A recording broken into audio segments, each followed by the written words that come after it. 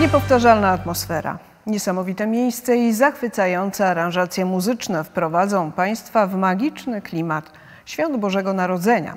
Najpiękniejsze polskie kolendy i pastorałki będzie można usłyszeć w wigilijny wieczór na antenie telewizji TVS.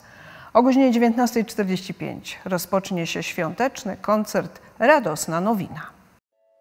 Tak po cichu i powoli białym uśmiech.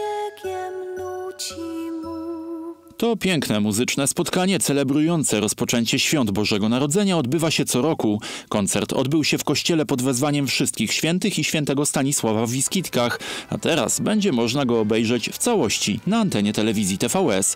Będzie można posłuchać kolęd i pastorałek w wykonaniu zespołu ludowego Wiskitki, Bogdana Szymańczaka i Jacka Golberga, Izy Fojcik, Henryka Cicha, Koli i Julii, Krzysztofa Koniarka, Pawła Gołeckiego i zespołu Make. Koncert Radosna Nowina to dobra okazja, aby poczuć ducha świąt i wprawić się w refleksyjny nastrój. Początek Wigilię o godzinie 19.45.